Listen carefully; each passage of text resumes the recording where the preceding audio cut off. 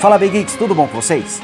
Galera, você já deve conhecer a Tectoy dos videogames, né? Do Mega Drive, do Master System, que já fizeram muito sucesso aí nos anos 90, 2000, e eles continuam presentes até hoje. Até hoje você consegue comprar uma versão atualizada do Master System. Eles lançaram também um Atari numa versão portátil.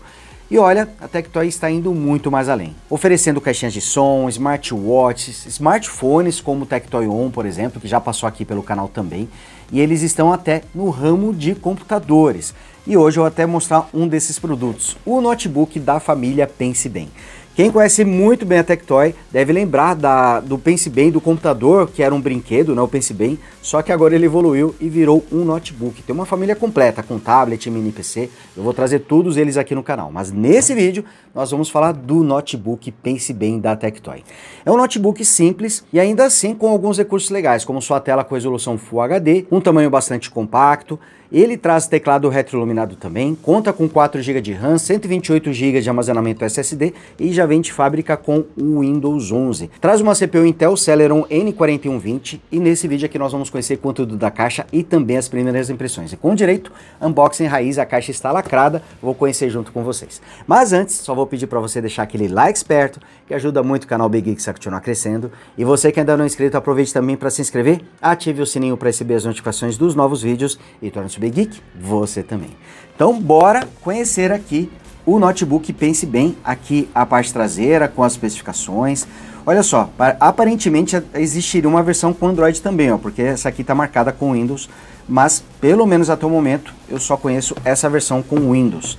E a caixa está lacrada, está até destacado aqui que ele traz o Windows 11. E vamos abrir aqui a caixa para a gente conhecer o produto. O produto ele é importado, eu acho que tem até essa marcação na parte traseira, eu já vou mostrar para vocês. Eu não queria rasgar o plastiquinho, mas não vai ter muito jeito não, viu? Vou ter que realmente tirar todo o plastiquinho aqui da parte traseira. Ó, aqui atrás tem a informação de que ele é importado, tá? Importado, distribuído e garantido. Eu acredito que esse notebook, ele também é em parceria com a Shui, uma empresa chinesa que já passou aqui pelo canal, já fiz vídeos de alguns tablets da Shui. Inclusive o mini PC eu tenho certeza que é em parceria com a Shui, mas a gente vai conferir se o Bem Notebook também é. Mas vamos por partes, né? Vamos primeiro conhecer aqui o conteúdo da caixa. Olha só, dentro aqui tem duas caixinhas. Deixa ela aqui de lado por enquanto. Então, nessa caixa menor, vamos ver o que tem. Provavelmente deve ser o carregador, né? Olha só, tá aqui o carregador modelo bem portátil, né? E com a porta USB tipo C. Ele utiliza o carregamento USB tipo C. Ó, tá aqui, saída de 12 volts e 2 amperes, uma potência de 24 watts. Acredito que dê até para você utilizar esse carregador aqui para carregar um smartphone, um tablet também. Deixa eu ver se tem mais alguma coisa, ou se é só isso? Não, é só isso mesmo. Aqui nós temos esse envelope, provavelmente dentro temos aqui o manual. Ó, isso mesmo aqui, ó. Naquele formatinho mapa, Deixa eu abrir aqui rapidinho para vocês poderem ver. Tá aqui com as informações de como ligar. E aqui bem protegido, né, por essa espuma. Deixa eu ver até... Ah, é, é até no formatinho gaveta, ó. Não é nem de abrir aqui. Então aqui nós temos o notebook Tectoy, o Pense Bem. E olha, galera, ele tem um acabamento bonito. Ele é feito em metal, tanto a sua tampa quanto a parte inferior aqui trazem o acabamento em metal. Deixa eu abrir aqui e tirar a proteção do teclado. Olha, construção aqui, nota 10, realmente curti. Segurando ele em mãos aqui, a gente percebe que a construção é muito boa. Ele traz a tampa, a parte inferior. Eu acho que só o teclado traz o acabamento em plástico, mas até no teclado aqui, na parte do palm rest, eu estou em dúvida, porque realmente ele tem uma construção muito boa. Ele tem um peso total de 1,4 quilos. Deixa eu ver se tem energia aqui para a gente ligar. É, por enquanto não tem. Mas olha, a primeira impressão que eu tive aqui foi muito positiva. Aqui mostrando a tampa dele, aqui a parte inferior. Então ele tem uma construção realmente muito boa.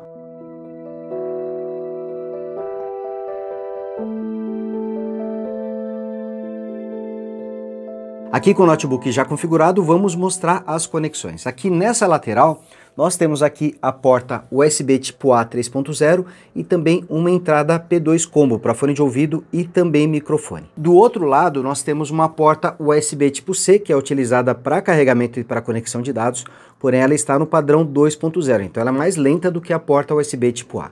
E temos também uma entrada micro HDMI para você conectar a um monitor externo, então você só precisa de um adaptador ou de um cabo micro HDMI para conectar aqui um monitor externo ao notebook, pense bem. E olha, realmente o acabamento chama muita atenção, destaque está no seu teclado que é retroiluminado, algo incomum em notebooks dessa faixa de preço. Então temos aqui um hardware bem interessante, e algumas características mais premium que a gente só costuma ver em modelos mais sofisticados, como o acabamento em metal, que eu já falei para vocês. Temos aqui também o teclado retroiluminado e uma tela com resolução Full HD, uma qualidade bem legal.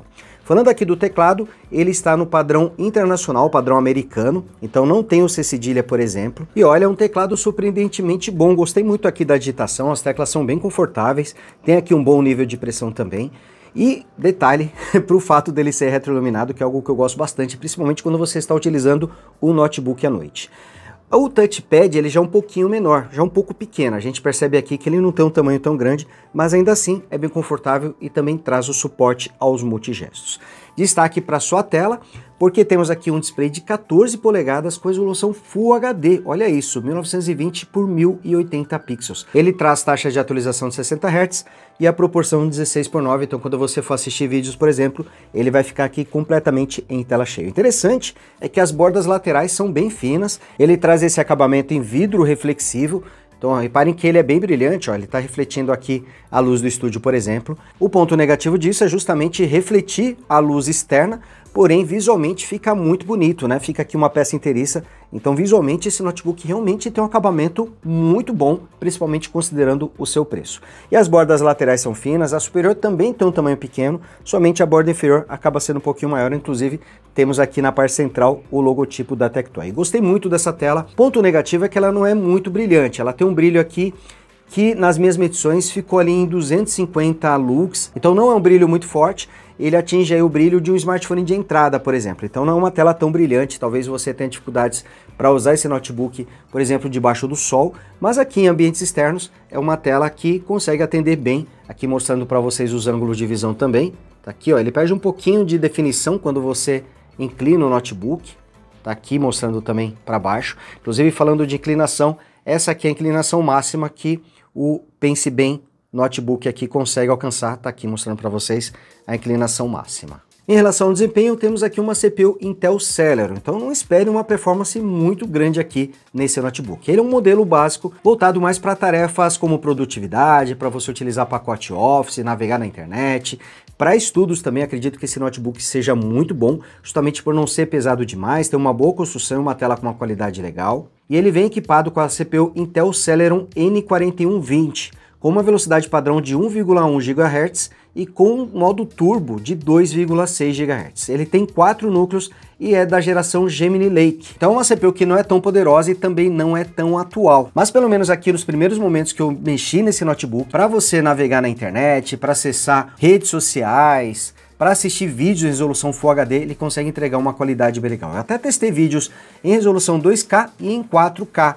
2K ele rodou bem, eventualmente ele apresentava um pouquinho de engasgos, e em 4K aconteceu mais ou menos a mesma coisa. Em boa parte ele rodava bem, mas eventualmente aqui com um pouco mais de frequência em relação aos vídeos em 2K, ele apresentou um pouquinho de engasgos. Onde ele rodou liso mesmo foram os vídeos em Full HD a 60 quadros aqui eu tive uma experiência muito boa, mas como a tela tem resolução Full HD, acredito que nem exista a necessidade de você assistir os vídeos em 4K.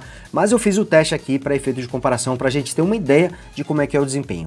Eu esperava que ele fosse travar muito rodando vídeos em 4K. Acabou acontecendo, mas não com tanta frequência.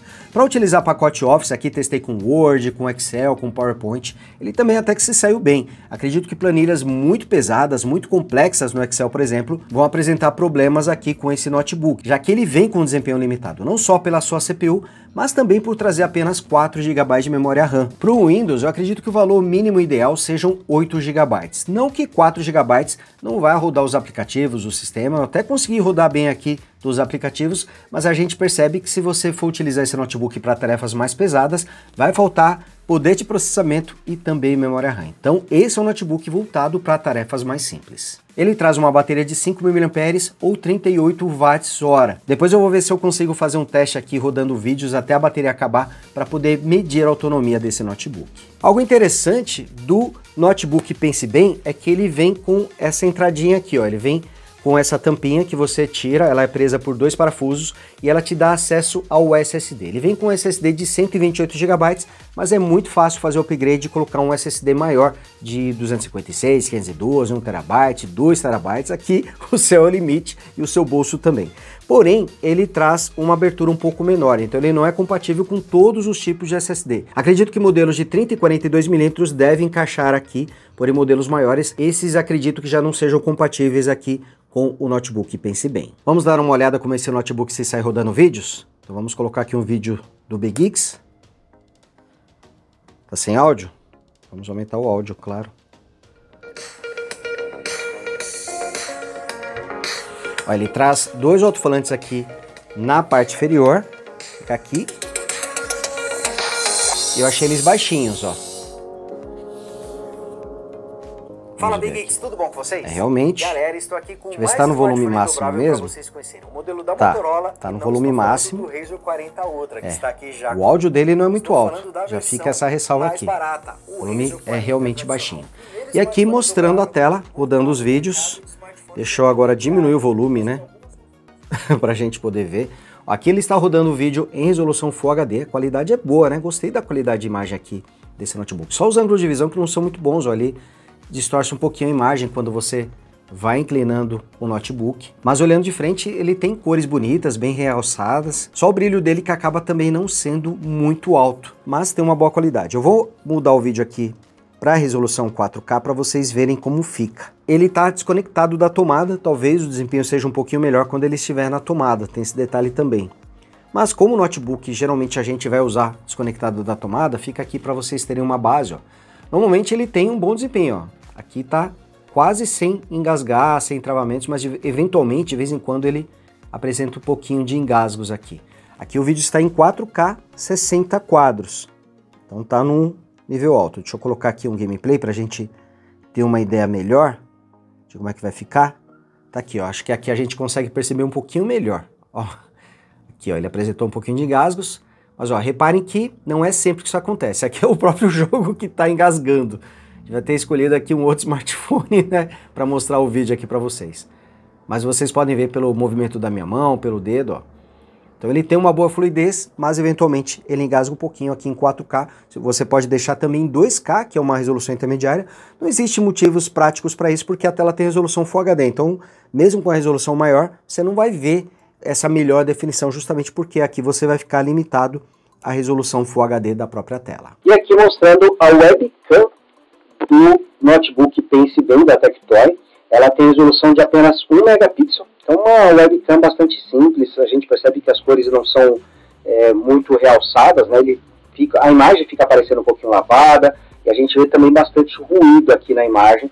Então uma webcam que vai quebrar um galho para uma videoconferência, né? Você vai conseguir fazer um bom uso, eu não sei como é que está a qualidade do áudio, mas como é uma webcam bem simples, acredito que o áudio também não deva ser lá grande coisa, mas em todo caso, para que vocês possam conferir. É uma webcam bem simples, isso aqui eu já consegui perceber na prática.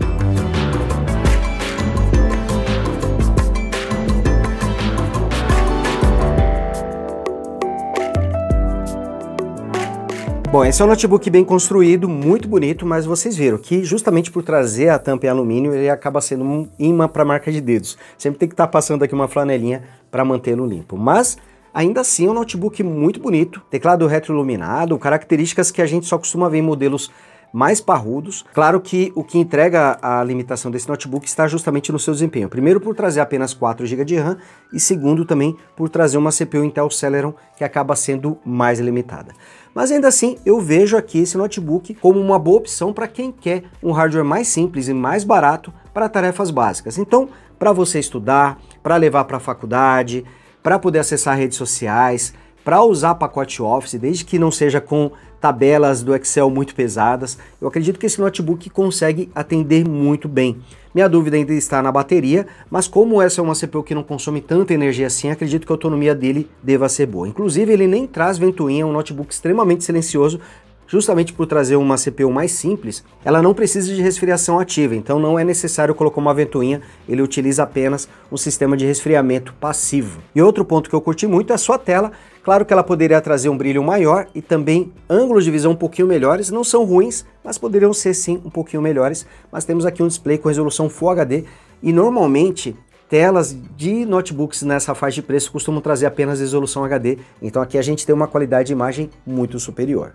Bom, galera, e quanto está custando aqui o notebook Pense Bem? No dia que eu estou gravando esse vídeo, eu fiz uma pesquisa e ele está saindo por mais ou menos R$ 1.500 a R$ 1.600, mais precisamente R$ 1.553 no dia que estou gravando aqui, mas o preço pode oscilar, ele pode custar um pouco mais, um pouco menos, então ele está saindo mais ou menos na faixa de R$ 1.500 a R$ 1.600, ou seja, um notebook muito barato. Normalmente, notebooks bons costumam custar acima dos R$ 3.000. Claro que não existe milagre aqui, ele traz uma CPU mais simples, traz apenas 4 GB.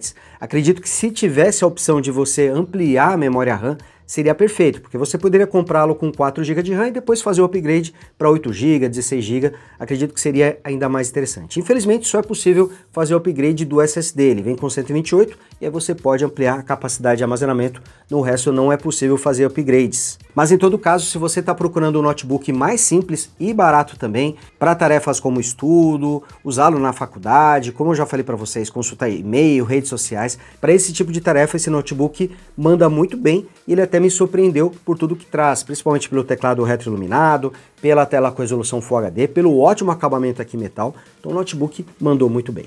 Bom, galera, então é isso. Vou ficando por aqui. Pretendo fazer mais um vídeo aí com análise completa para a gente falar até melhor da questão da autonomia de bateria aqui do Tectoy Pense Bem, do notebook Pense Bem. Então, para você poder acompanhar esses e outros vídeos também, já sabe, é só se inscrever, ative o sininho para receber as notificações dos novos vídeos e torce Big Geek você também. Grande abraço e a gente se vê no próximo vídeo.